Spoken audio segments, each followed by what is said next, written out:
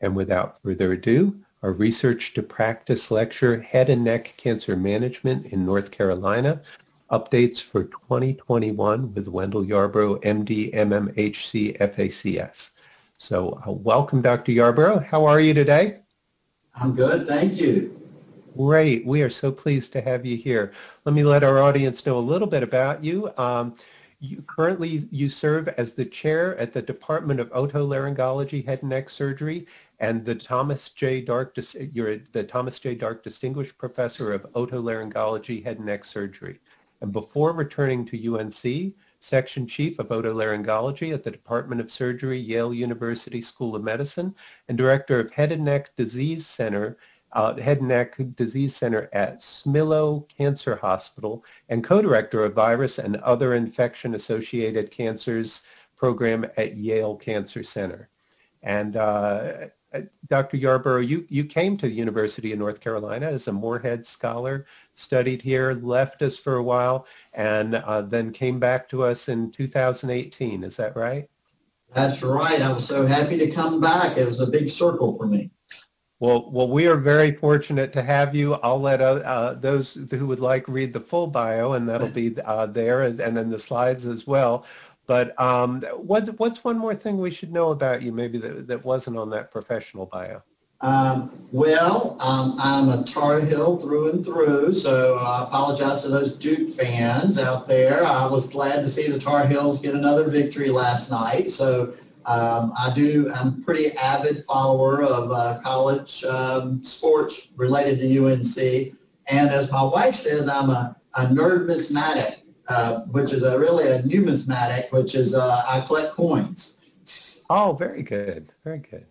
Well, thank you so much. Uh, let's see. I, I, mentioned we're going to use uh, poll everywhere. This is just a practice question. I, th I think everyone's going to get this. Uh, uh but the question is, head and neck cancers include cancers of the mouth, nose, sinuses, salivary glands, and throat. And if you think that's true, you're going to put an A, and, and false is B. And uh, while that'll pop up in just a second, and while we're waiting, I'll say that uh, this activity has been planned and implemented under the sole supervision of the course directors in association with the UNC Office of Continuing Professional Development William Wood, MD, MPH, and CPD staff have no relevant financial relationships with commercial with commercial interests as defined by the ACCME. And Wendell Yarbrough, MD, MMHC, FACS, has no financial relationships with commercial interests as defined by the ACCME. And so there's our question. Again, head and neck cancer includes cancers of the mouth, nose, sinuses, salivary glands, and throat. Uh, Dr. Yarbrough, I'm, I'm seeing a trend here. How are they doing? seems, seems like so far so good. all right. All right. Well, we're off to a great start. Uh, with that, I will uh, go ahead and turn it over to you. Advances in head and neck cancer management in North Carolina, updates for 2021. Uh, take it away, Dr. Yarbrough. All right. Well, thanks, Tim. And um, I'm glad to see that um, um, the response was the way it is related to the question, you're already ahead of a lot of people who have no idea what head and neck cancer means. Um, we've done polls in uh, 2012 and then again we did one in 2018, sort of the general population. And um, the knowledge base for head and neck cancers is very low in the population. Uh, it has improved between 2012 and 2018. So, so we're seeing some improvement even knowing what a head and neck cancer is. So I'm going to talk a little bit about that. Um, and I think we can go ahead to the next slide. A little bit about me before then as you can see, and, and Tim went through this, um, but basically I was at UNC for a long time, and then I went left to Vanderbilt, and then to Yale, and then made a full circle back to UNC, and this is this is my family over here on the right. Um, all, um, two sons and my wife, uh, Glenn. So yeah, feel free to go ahead. Um, so a few objectives today. We want to discuss uh, the importance of multidisciplinary treatment of head and neck cancer um, with some emphasis on some new techniques and some treatment um, standards. We're going to explain reconstructive head and neck techniques in the head and neck uh, for head and neck cancer. And that's really important just because um, the, the reconstruction is complex and we have to restore function and form. And um, we're going to identify um, a little bit of the cutting edge stuff that our labs work on related to prognostic markers and emerging therapeutic vulnerabilities for HPV associated head and neck cancer. All right. All right. And I'll, I'll just mention with this uh, poll here, uh, let's see, and I'm actually um, not sure that it's popping up the, the question that, that we hope to, but I think you had wanted to, to, to get one word that to, to describe people's uh, experience with head and neck cancer. Is that right? Yeah, yeah. So, um, you know, what you think of when you think of head and neck cancer, if you can just uh, type in a word, I think we're going to do a, one of those word mosaics. Right. There, and there we go. They're oh, already coming go. in. And I apologize, we, uh, we don't have uh, the ability to take phrases, but if you'll just limit it to one word, uh, it's, it's nice because we can see which ones uh, appear the most frequently yeah. there. And uh, boy, yeah, scary is, is already showing, and bad showing up as the, the dominant ones already. Yeah, a lot of good stuff there. It looks like it's coming up. Um, laryngectomies, problems with eating and feeding, surgical, painful, scary, bad. Yeah, smoker. Yep. Um, a lot of lot of uh, radiation. Yeah, a lot of different ways to treat it showing up. Some morbidity. Um, yeah, I really like that. Be nice to capture that. We can use it in future for, for future things. That's that's that's really great. We'll send that on to you. Yeah, yeah, absolutely. All right, so uh, one more question. Boy, we're getting all the questions out of the way pretty early. Um, what are the major causes of head and neck cancer? So we have a few choices here. A is the human papillomavirus and tobacco. B is herpes simplex virus and tobacco, Epstein-Barr virus and tobacco, tobacco and environmental pollution, or COVID vaccines. We probably think the COVID vaccine will probably win this one. As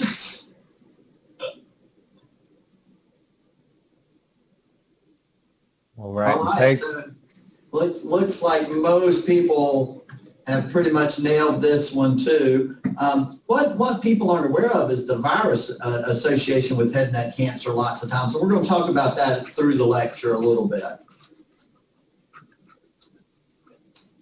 All right, so just a little bit of an overview. Um, uh, once again, thanks to everyone who's come and, um, you know, it's really nice to have people who are interested in learning about head and neck cancer. It is a a fairly common cancer that doesn't get as much press as some of the others. There's more than 60,000 cases in the United States every year. If you include thyroid cancer in that, which we also treat, that's about another close to 60,000. So then um, you're talking a little bit bigger numbers. The vast majority of the cancers that we're talking about um, are squamous cell carcinomas, um, and it's classified by subsites. And this is why people aren't as aware of it. It's divided into all these different subsites. Um, and when you look at each subsite individually, there's not as many numbers uh, associated with each subsite. So I think you can hit the next slide, slide. We have a little animation. We're going to be mainly talking about these today, this larynx, oropharynx, oral cavity, and hypopharynx. Almost all of these are squamous cell carcinomas. And these, the two main molecular subtypes, are, of these um, tumors are based on the causative agent, uh, tobacco being one and HPV being another. Um, so just when you're contrasting tobacco-associated head and neck cancer with HPV or human papillomavirus-associated head and neck cancer, tobaccos are decreasing and HPV associated are increasing. And this is really a tribute to our um, um, smoking cessation efforts that have been going on over many years. Um, and smoking is decreasing in the United States. And so you can see the red line here is the tobacco associated cancers. And in the late 80s, um, into the 90s and through the 2000s, that has been decreasing, and that's really nice to see. Um, but as that was decreasing, a new type of head and neck cancer associated with younger patients, decreased or absent traditional risk factors, meaning tobacco or alcohol, has been increasing. And it's really increasing uh, at sort of a epidemic type increase. And that's the black line here. Okay, we can go to the next. One interesting thing about these two types of uh, tumors is they are associated with different survival. So you can see overall survival in, on the left and progression-free survival on the right. The HPV positive tumors, and, and the dark line is the median and the confidence intervals are the gray lines. So you can see that HPV positive tumors do a lot better for both overall survival and progression-free survival compared to HPV negative tumors. So in addition to survival, there's several other differences between these tumors. The HPV positive tumors are occur in younger patients compared to HPV negative. The average age is still in the 50s, but with HPV negative, it's in the 60s.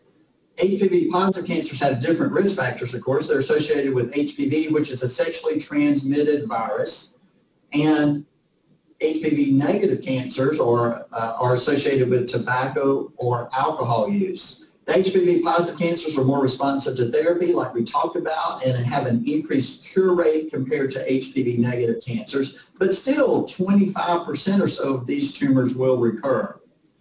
There are some conserved gene alterate, um, alterations that are different between these two tumors. HPV negative cancers have the typical P53, P16, EGFR uh, mutations, whereas the HPV positive cancers have these novel gene defects, some more methylated gen, uh, genome and a distinct gene expression profile. You can hit the next one, but we're going to talk a little bit about TRAF and CYLD later in the um, in the talk.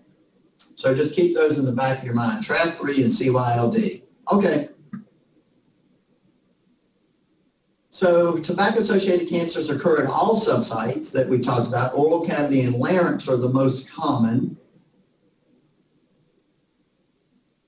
The incidence in the United States is decreasing for these, as we've talked about, because smoking is decreasing. So that's really a great thing for our uh, population health.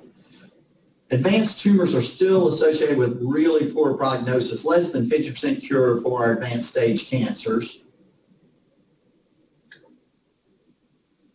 and is treated primarily with surgery or with radiation with or without chemotherapy or with surgery and radiation with or without chemotherapy. So the treatment modalities are very intense for this. And this, this speaks to the need for multidisciplinary teams because a lot of our patients are treated by all these modalities.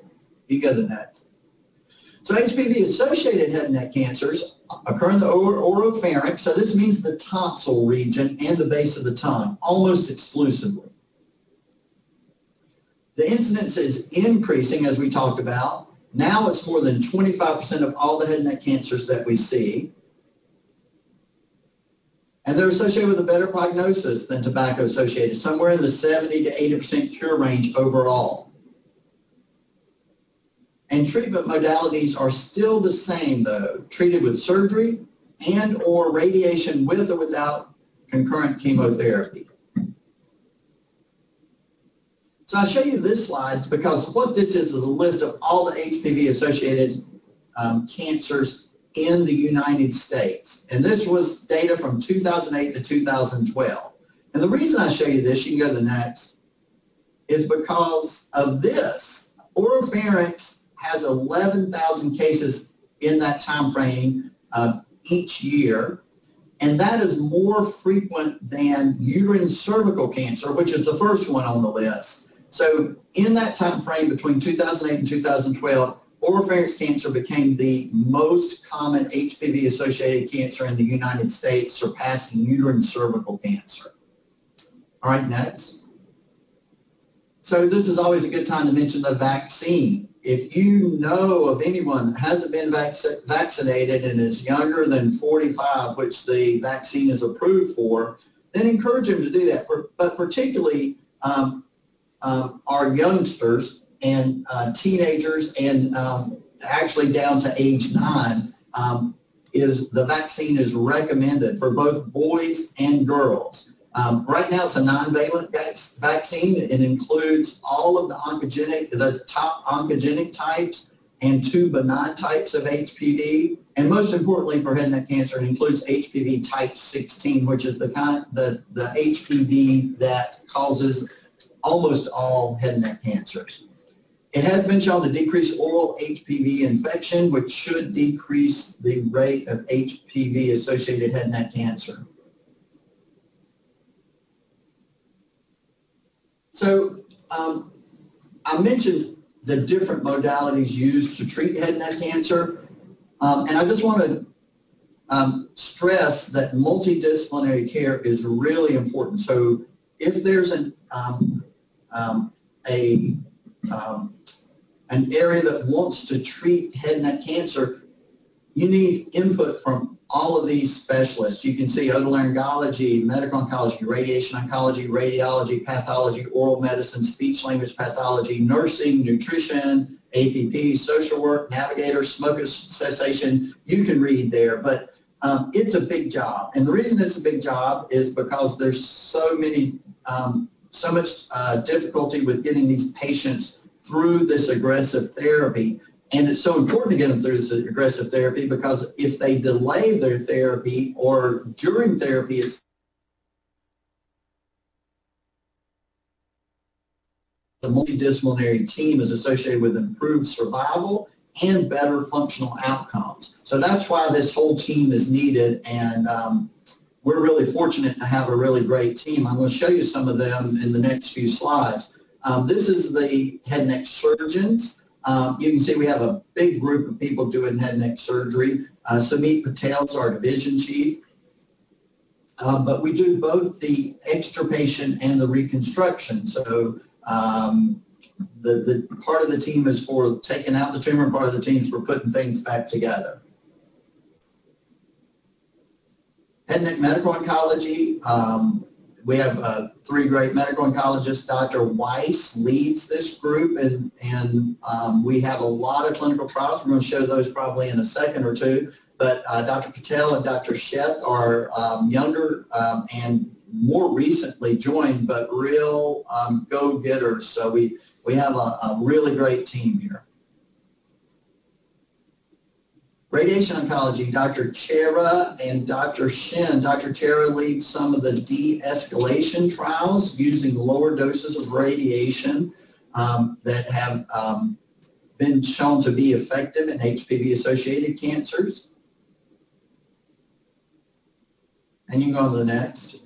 Um, pathology. We have a head and neck specific pathologist um, Dr. Um, Maygarden, Dr. Uh, Askin, um, and Dr. Samolsky, as well as Scott Smith and Dr. Singer, um, all are involved in this. Dr. Askin was the chair here at UNC years ago, went to Hopkins to be the chair, and sort of like me, did a big circle and came back. Uh, radiology, um, we have head and neck specific radiologists, uh, Dr. Jules and Dr. Wang. Um, and we're, we're so fortunate to have this because a lot of our treatment decisions are, are based on the uh, imaging studies and the extent of the tumor. Um, we have oral medicine experts, and this is really important because um, some of the treatments we give, particularly chemotherapy and radiation, have a lot of oral effects and, and side effects for teeth and chewing and uh, oral health. Speech language pathology, work with them on almost all of our patients related to speech and swallowing primarily. Um, Brian Kanapke's been here a long time and, and CC is a newer addition, but still has been here for a while. And some of the stuff they do um, not only is, is related to speech and swallowing, but also trismus. Um, some of the treatments we give, and uh, particularly radiation therapy, can cause trismus. Surgery can do it as well. But there's all kinds of devices to try to stretch out the, the chewing muscles basically so that um, people can open their mouth um, wider. These are some of the clinical trials I was talking about earlier. I'm not going to go through them, but just be aware we have a lot of clinical trials, not only for um, recurrent metastatic disease after tumors come back, but also for upfront treatment. And we have some um, investigator-initiated trials um, related to some new therapies that we are trying to determine who they're effective for and how effective they are. So very active trials group. Our residents are important because they do a lot of the care for our patients who um, get admitted to the hospital after surgery. We have a big group of residents, of course, and you go to the next slide. Also important are fellows. We work in conjunction with a lot of these fellows um, because sometimes our tumors cross into the lateral skull base with neurotology. Sometimes there's um, facial um, aspects that are involved with facial plastics. Our head and neck microvascular reconstruction um, fellow, Andrew Caniglio, is shown here as well. And then for anterior skull base, where some of our tumors cross as well, there's two fellows that are listed there, Dr. Miller and Dr. Morse. All right, so now we're going to switch gears, talk a little bit about reconstruction for head and neck cancer, since we've gotten some of the um, some of the um, initial ideas Often you see a, a, question there. I appreciate people already answering. What's the first goals for reconstruction of head and neck cancer defects? All right, we got, um, looks like a, a majority looking at for function and healing. All right, well, let's uh, go on to the next slide.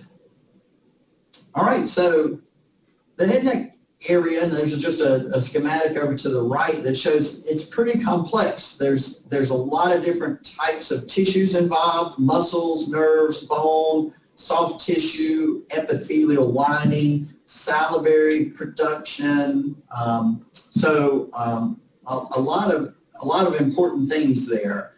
But um, what's really important for us as we're thinking about reconstruction is healing and restoration of function. Um, so one of those functions we're primarily concerned with are eating, breathing, vision, facial expression, and talking. There's some really high value real estate. When I was at Yale and lecturing to the um, medical students, I'd give them a, a, little ball that was two centimeters in diameter. And I'd ask them to put it, if they had to have a cancer anywhere in their body, where would they put it? And almost nobody put it in their tongue or on their mouth or in their neck um, or in their eye or, or in their nose, you know, they would put it on their leg or somewhere else. So nobody wants a tumor in this area because it, it, it's, um, it affects your uh, airway, your, your eyes, your brain, your swallowing, your ability to communicate, palate, lips, and your cosmetic appearance. So um, as mentioned, you know, it's difficult to cover this area up. If you have a scar on your arm or leg, you can wear, a, you know, something with sleeves or long, long pants. But if you have a scar on your face or on your neck, it's, it's hard to cover that up. And nerve defects are, are obvious as well um, because uh, facial expression is so important. Um, for reconstruction, we need lots of different types of tissue. As I mentioned before, sometimes we need all of these things for reconstruction. So it's a, it's a complex area to reconstruct from uh, a function and form standpoint. All right, let's go to the next slide. When we start to reconstruct these uh, defects, we think about a ladder of reconstruction. The simplest is at the bottom of the ladder and the more complex is at the top of the ladder. And we consider the patient when we start talking about how we're going to reconstruct. The health status and their age, sometimes if for older patients that may not be able to withstand a longer operation, we may go with a simpler reconstruction. And, but it's always a little bit of a trade-off between function and the complexity of the reconstruction. Are you going to need postoperative radiation therapy, in which case we need to cover critical vessels and, um, and if you're not going to need that, maybe we can do a simpler reconstruction. So you can see from the very bottom is where secondary intention is just letting it heal. Primary intention is basically closing it. skin grafts are a, a, where you um, cover it with a, another piece of tissue, of course. We have tissue expansion, local tissue transfer that can be pedicled, uh, distant tissue transfer, and free tissue transfer. Um, so we'll, we'll talk about a few of these, and um, there's some, uh, just to warn people, there's, I think, some um, pictures coming up that are surgical pictures. I don't think they're, they're not too bad to me, but just, just to let people know. All right, so this is a, a reconstruction using uh, skin graft uh, or alloderm, which is cadaveric dermis. And basically, sometimes you, you, you have a small defect, you can cover it with skin graft or uh, alloderm. What that lets it it prevents the scarring so that in this case the tongue would not be tethered and it can remucosalize so it gives a very nice covering. So you can go to the next slide. This is local local flaps that we do. This guy had a, um, a lip cancer of his lower lip, so we had to take off more than a third of his lower lip, and we just used part of the upper lip to swing down. This is still pedicled, and after a few weeks, we'll cut the pedicle, and it will have recreated um, uh, its own blood supply from uh, the lateral edges. So we, we do some of these local flaps as well. This is a pedicle flap, and this is a little bigger reconstruction. Um, but you can see here we use tissue off the chest that's based on a blood vessel, and we just tunnel it under the skin.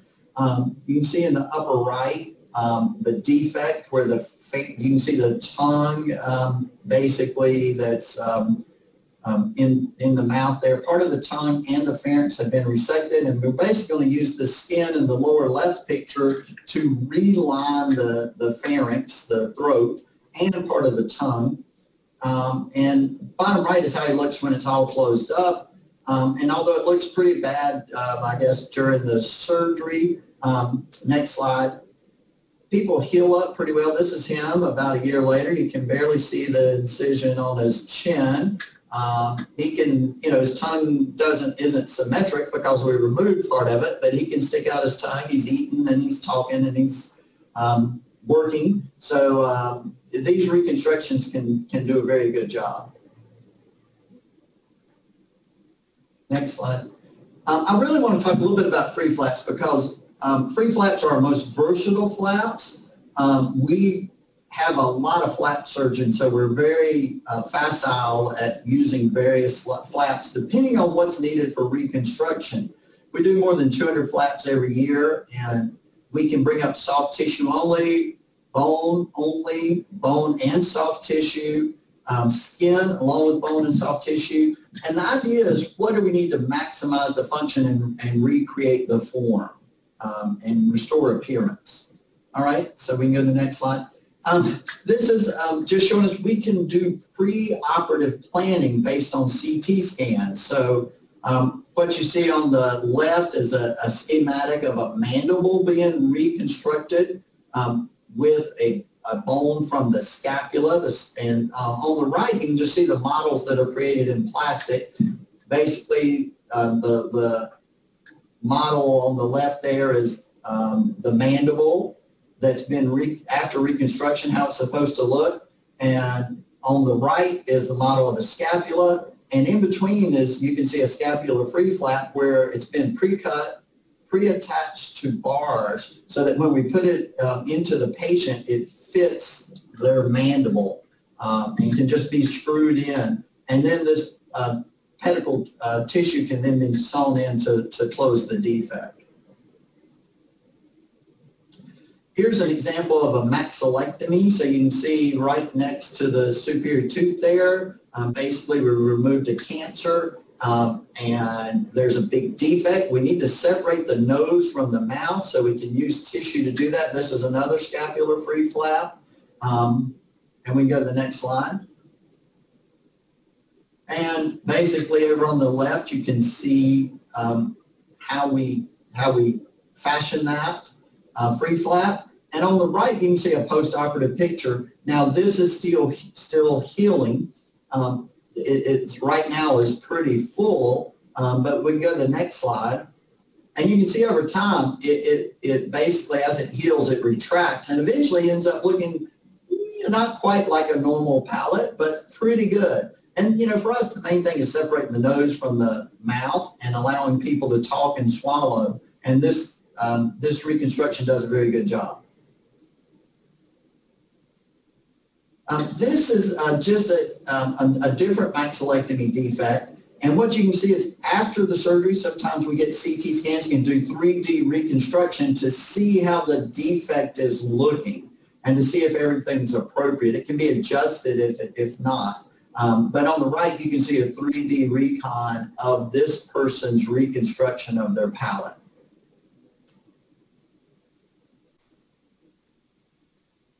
Here's a defect that's more complex because not only does it include the palate, but it includes skin, it includes bone, and it includes part of the nose and the face. So you can see this is a free flap that has bone, soft tissue, and skin. It's being brought up, and these vessels are hooked into vessels um, in the neck or in the or, or on the face. And next slide. This is how he looked immediately post-operatively. You can see part of his nose and, and this flaps on his face and uh, goes all the way up to his lower eyelid. Um, with time, this flap's going to decrease in size. And you can see he, here he's a, a month or two months um, out from surgery, and he's doing pretty well. This flap's going to continue to decrease in size, and we can also um, um, do secondary surgeries to try to make the form of that better. So now I want to switch gears just a little bit more um, and um, talk a little bit about some practice gaps that we have for HPV-associated head and neck cancer.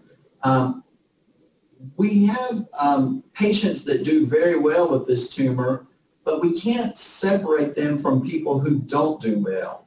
Right now, the only thing that's used clinically is whether or not you were a smoker and you smoked for more than 10 pack years, which means one pack per day for 10 years. So in reality, we're over-treating some patients and under-treating others. And we don't know how to safely de-intensify therapy. We have several options for that de-intensification, including transoral robotic surgery, decreased radiation dose or fields, and neoadjuvant therapy, which means some chemotherapy that may um, decrease the need for surgery and or radiation.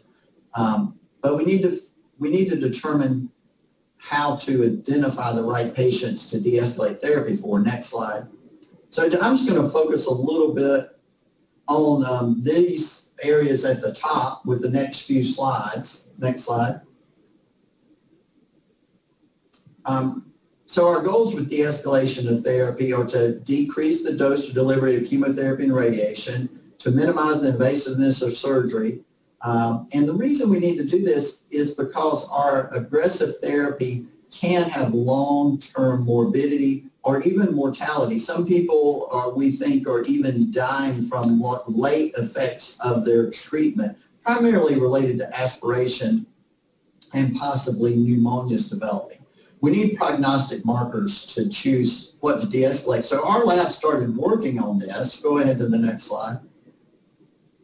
And um, before I, I, get to what our lab did, um, this is just the transoral robotic surgery, and it's it's a newer technique where we can use a robot to see around the corner and basically do a good resection of a primary tumor. This is a patient with a robot who's has some instruments in the patient's mouth. Next slide. This is the way the room's set up. So the surgeon's actually in the upper left at a console looking at what you see in the lower right and making um, cuts to, to remove the tumor. The people in the OR in the Do lower it. left, that's all right. People in the OR in the lower left are um, can see what's going on, and there's always somebody at the head of the patient to, to help out with um, anything that's needed there. So now we go to the next slide. This is a patient who had the surgery. You got it nice to know. If you do and you don't have it, nice to know. Okay. Um, well, um, his um, his picture was actually there, but but um, that's okay. He did very well. He had transoral robotic surgery, and he was talking about getting screened for head and neck cancer. We do yearly free screenings and um, um, really trying to get the word out about what head and neck cancer is. Um, so we can go on to the next slide. So I showed something like this before, but um, the difference here is these are only HPV-associated cancers in the intermediate risk and the low risk. And the only difference between a low-risk HPV-associated cancer and an intermediate risk HPV-associated cancer is whether or not you smoked more than 10 pack years. And you can see the survival difference, and this is overall survival. The survival difference um, is pretty, pretty marked between those two things, but there's still a lot of people who smoke who do very well, and a lot of people who don't smoke who have recurrences. So as we started looking at this in lab, we were involved in a sequencing effort through the Cancer Genome Atlas, which was sponsored by the NCI. And we noted that HPV-associated cancers had mutations in this gene called TRAF3. I told you we would come back around to that.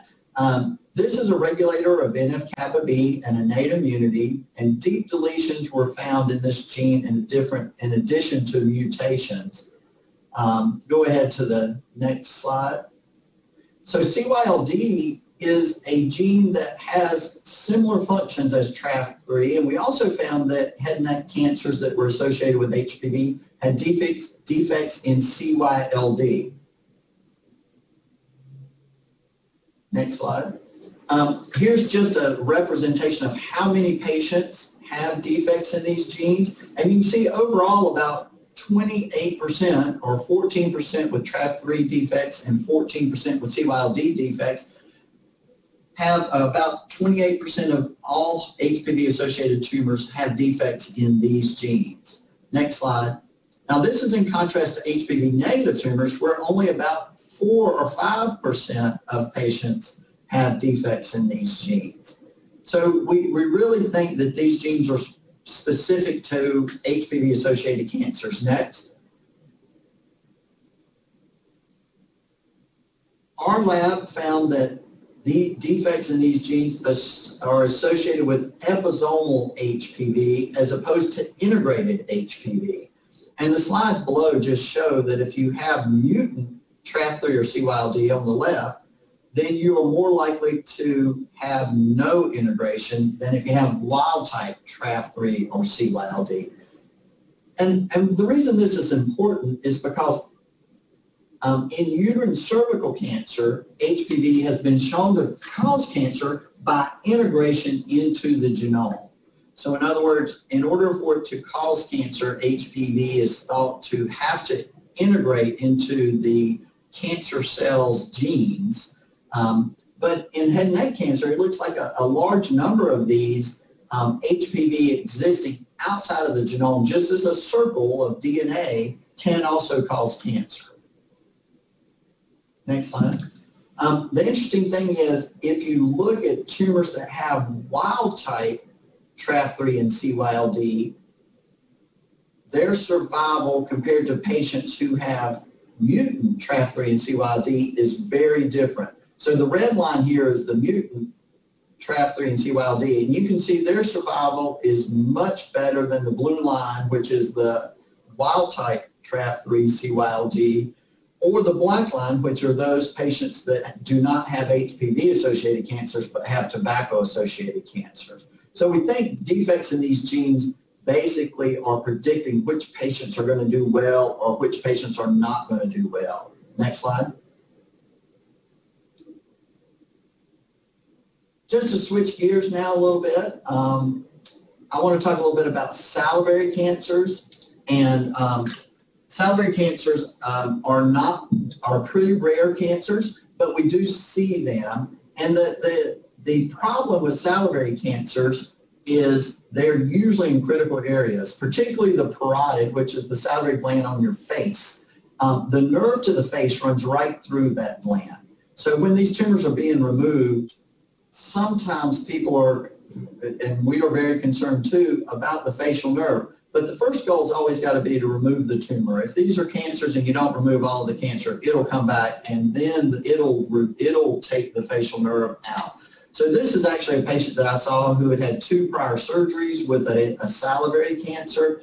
And the reason the tumor kept coming back was because somebody, the, the, the other surgeons did not want to sacrifice the facial nerve. So when the patient saw me, basically this is a, a, a picture um, after we have removed the tumor, and you can see the in the upper right, you can see the facial nerve. The lower divisions are totally intact, but the upper divisions we sacrificed, both, both of the upper division branches.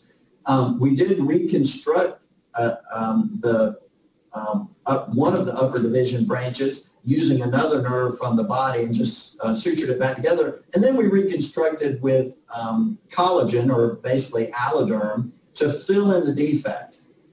So we removed this tumor. The patient did very well and did not have the tumor come back. So next slide.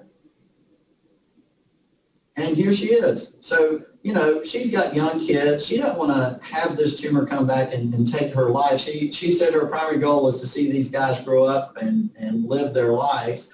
And even though we sacrificed her upper divisions with the reconstruction, you can see in the upper right, she can still get eye closure. Her mouth uh, has a little asymmetry, um, but but not terrible. Overall, she's very happy. You can see in the bottom with her smile, she, she sort of has a, a, a asymmetric smile, sort of like Elvis but uh, but doing very well, and she's very happy.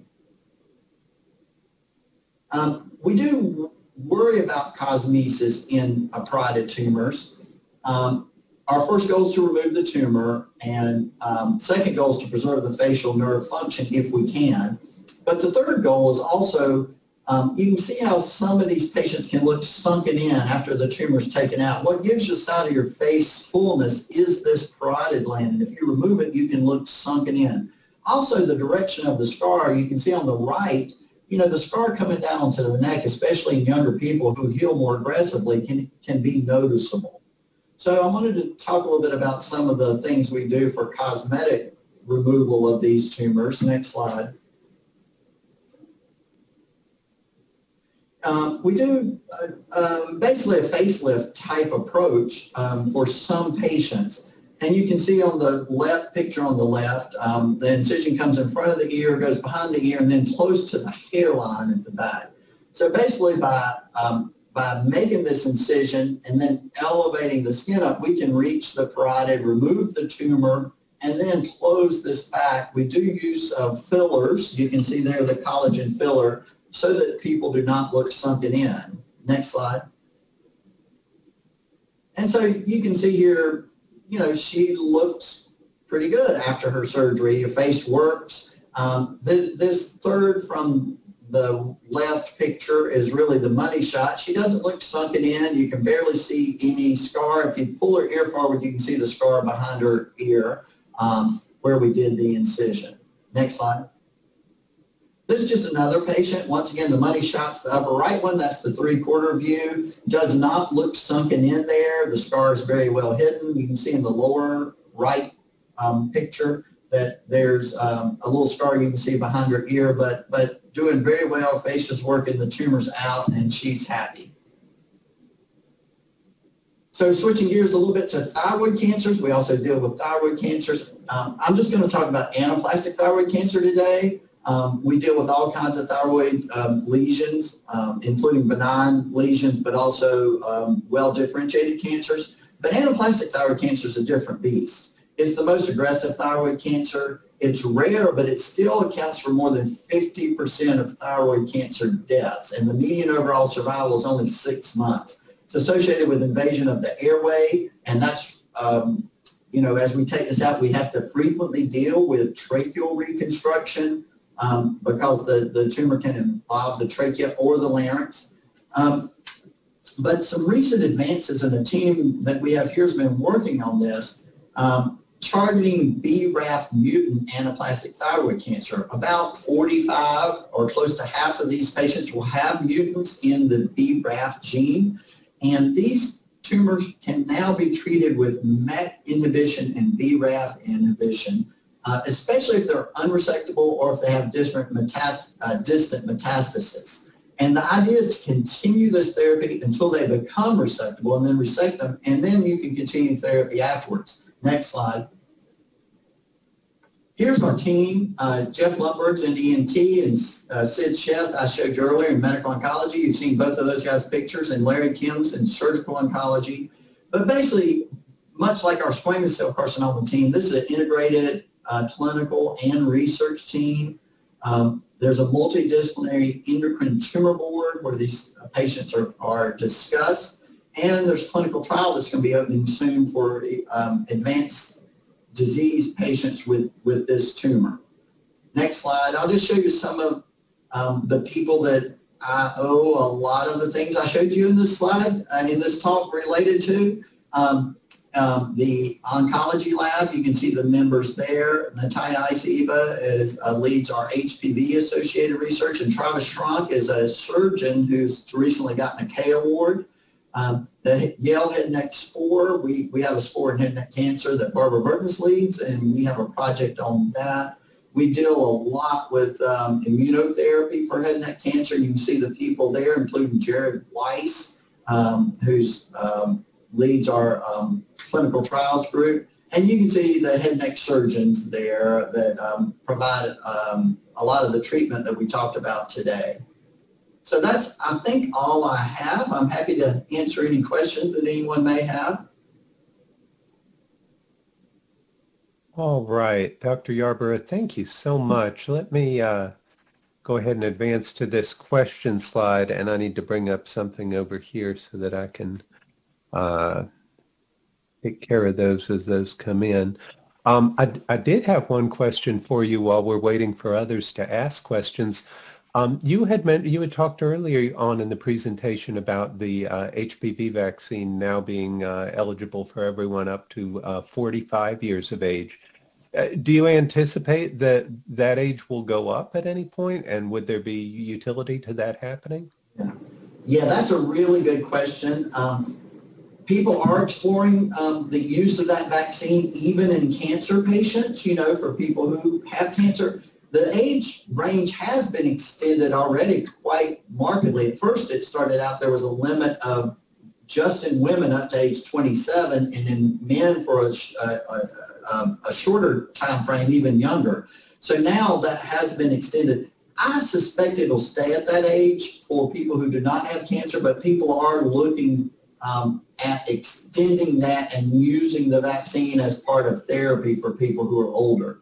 I do see a question from Margaret, um, and thanks for the question, Gully, about which HPV positive cancer patients need TRAF or CYLD mutation or deletion testing.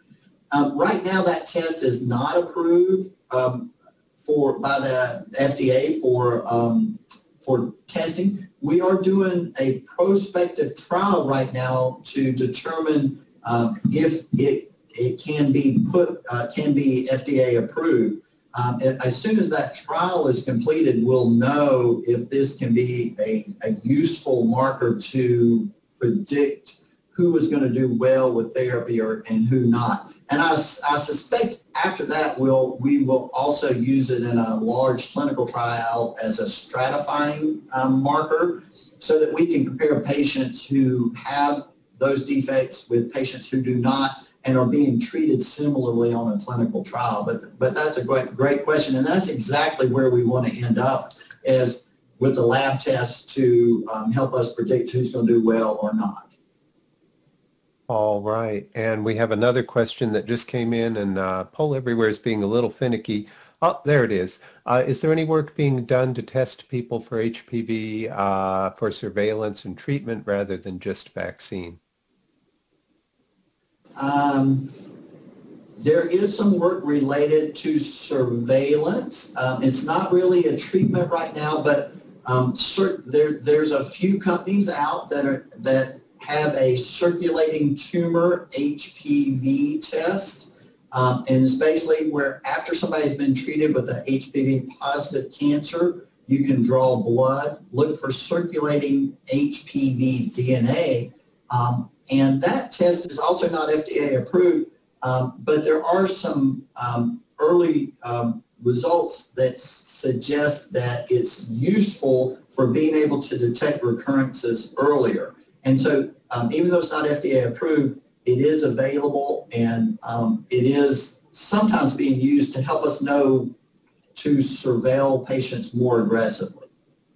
Great, thank you. And then another, are muscle attachments altered with these flap surgeries or are landmarks recreated to preserve muscle action? Yeah, it's really a great question. Um, most of the time, these the the flat reconstructions that we are doing are not um, innervated flaps. Um, we do innervate some flaps, but mostly for sensation um, because it's hard to bring up um, muscle, get the orientation correctly for the muscle, and have it function like muscles that we are taking out. Um, the muscles that we're taking out are pretty specialized muscles. The main ones that um, people would be concerned with would be things that move the face. And those are, are muscles that are very hard to replace um, just because of their location and their attachments. Um, also, the tongue um, and right now we no one has been successful at uh, reconstructing a tongue that moves with with muscle um, because it's a very complex um, interaction with all the surrounding muscles. But that's that's a that would be wonderful if we can get to that point. Absolutely. Um, one more that came in, and thank you all so much for submitting these great questions. Uh, are there any trials investigating the use of tumor treatment fields, electrical therapy, on any of these cancers? Um, I may not know exactly what the uh, electrical therapy for tumor treatment fields um, is. Uh, I'm not aware of any trials um, using anything like that. I do know there are some trials that look at the radiation treatment fields um, that can be um, reduced to decrease the amount of tissue that's getting radiated. So people are looking at that. Okay. And Dr. Yarbrough, um, you mentioned that uh, cancers occurring in the tonsils are quite common. Uh, do people who have had tonsillectomies have a decreased risk? Interesting yeah. question. Yeah, great question. Great question. And um, right on target. Yes, people who had tonsillectomies are at decreased risk. Now, you can still get an HPV-associated cancer if you've had a tonsillectomy because the back of the tongue also has tonsil-like tissue on it. Um, and some of these tumors occur there, but it, it, there is definitely a decreased risk. And people have looked at part of the increase in HPV-associated cancers correlated with the time when everybody started getting their stopped getting their tonsils out in the 60s. Um, so most people who get HPV-associated head and neck cancers are in their 50s or later 50s. So you can imagine they might have been exposed you, you know, when they were teenagers or 20 years old. And so there have been people that looked at that interesting connection between decreasing tonsillectomies and rise 40 or 50 years later in um, tonsillar cancer. Gotcha. Interesting. Well, thank you to, to our audience for all of these great questions. Um, we really appreciate that. Uh, let me let me uh, say a few things in wrapping up. Uh, we want to say thank you to uh, the, the, support from the citizens throughout North Carolina uh, and through the, the General Assembly for the University Cancer Research Fund and the Lineberger Comprehensive Cancer Center. Uh, we also want to thank Mary King, Veneranda Obore, and John Powell for all of their tireless work on each and every one of these lectures.